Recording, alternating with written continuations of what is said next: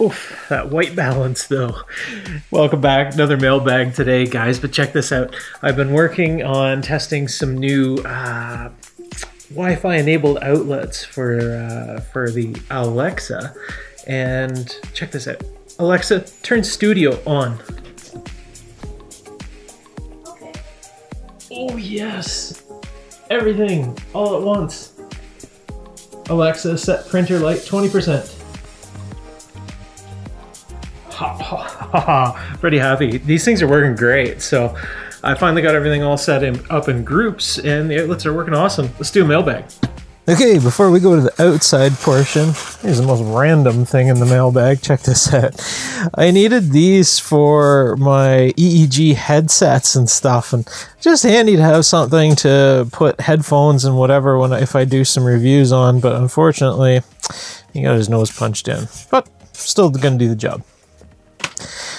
Next, some hemostats. I have never had a decent pair of hemostats before. These are used for fishing, and in the case of me, I needed a replacement clamp for fuel lines on small engines, and these will do the job nicely. They're good quality steel by the feels of them. They, they, the, the clamp force is really good and I think it'll do the job. So we'll give them a try. Next out of the package, some more Game Boy games for the retro Game Boy projects coming up. They're still coming on the channel. I still have the devices standing by for review. And Baseball and Zelda, both fun little games from my past. Uh, next up, oh, check these out. I have had these before on the channel, and I don't think I've ever done a proper review of them. These are USB powered soldering irons. Now, you would really think that these things are junk. They're non temperature controlled, they're just wide open or nothing. They come with only this really sharp tip but they work magnificent with a lipo battery. These things will solder ESC wires on my quadcopters no problem. They actually work really well. And for somebody who has used a paperclip and a Bic lighter in the bush to solder wires, this is a significant step up. And these things only cost a few bucks. They use a three and a half millimeter headphone jack. I bought two of them because honestly, they do work better than anticipated. I do a review, but honestly, everybody will just balk and chew, and you gotta have a TS and blah blah blah. Well, I don't use a TS. I use these stations. This thing I've had since my teenage years, and this WEP I've had I don't know 10 years now, and it works fantastic. I don't need the TS ones, but I do need a cheap soldering iron I don't care about to throw in the bottom of backpacks and toolboxes and you name it. These things work fantastic. If you guys want to see me use one, post a comment down below and I, I will do a quick review. Next up out of the package, random stuff. I think this fell from somewhere. Two little buck converters. I think these are probably an amp or two maybe a little bit more. I can't remember. I'd have to. I, I don't even know how these things fell out of their uh, their bins, but they're adjustable. There with a little trimmer on board. Wonderful little devices, and then some three and a half millimeter audio connections. Um, I need these for a specific project because I actually ordered the wrong ones. The footprint is always wrong. I always get it wrong. So I'm hoping these ones get it right. And speaking of PCBs, this this episode is brought to you in part by PCB Way. It's a great source for any custom PCBs you need. If you have a project in mind, go ahead and design the PCB and have them fabricate it and even assemble your circuit for you. Check them out. Great deals. Next up, something I certainly do not need. Yet another hot end for my 3D printers. I have no idea how this managed that I got so many of them, but handy to have the thermistor, handy to have the hot end. I don't need them uh, at all. My i3 Mega, I have not, I have not changed the hot end or even the nozzle on. So, uh, yeah, we'll use it. Little spudger set. Check this out. This is um I think they're marketed mainly towards like iPhone repair and MacBook repair and stuff like that, but it's handy to have some of these different size of tweezers. The tweezers, yeah, I I like these tweezers that I that you can get on Amazon or eBay uh, a lot better, but this little metal spudger very handy. Uh, for some reason, I managed to lose mine.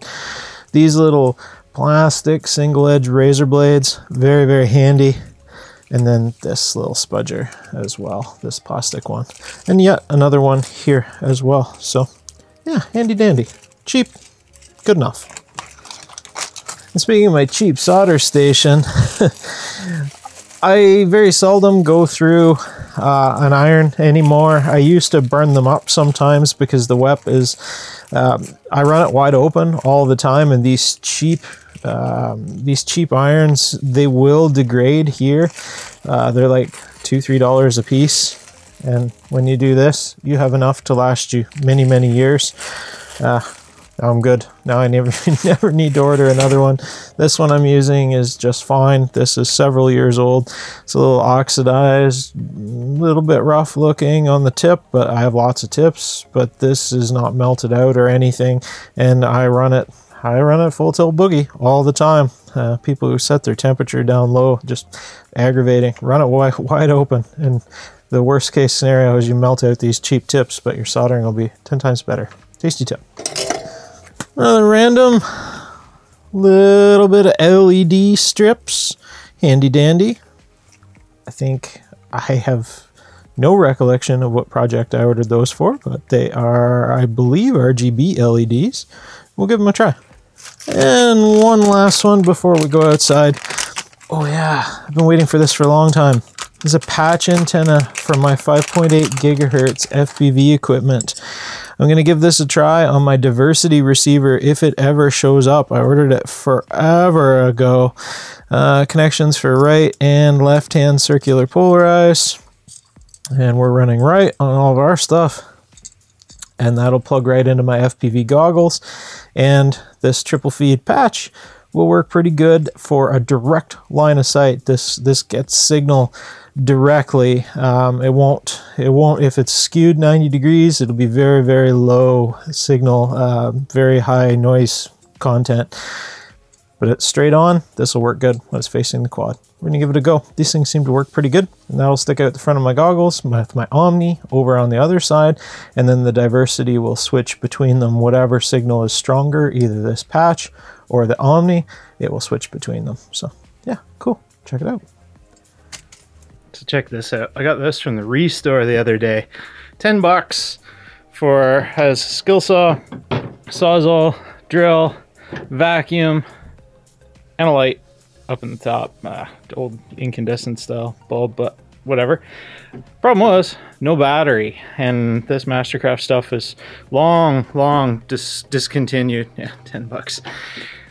I went on Facebook and posted I wanted one of these batteries, and sure enough, a guy finally got back to me in the in the area I live in and sold me this for 50 bucks with three usable batteries. I don't even have to make my own. Otherwise, I just wanted the case so I could make a lithium polymer battery out of them probably go to 18 volts. All this stuff will be able to handle 18 volts just fine. But now I've got three batteries and enough bloody 14.4 cordless stuff to do me for a long time. These skill saws are bloody handy. This one looks like it hardly even got used. So pretty pretty happy. He also gave me another drill 14.4 as well that fits that charger, but it's a different battery. And he said, well, it fits your charger, so you might as well have it. So yet another drill. Good enough for the workshop. I hate seeing this stuff go to landfill, especially when it's perfectly serviceable and I can rebuild these batteries forever. You can also put brushes in the motors if you want. And not the most powerful stuff out there, but heck, it'll do the job. Score.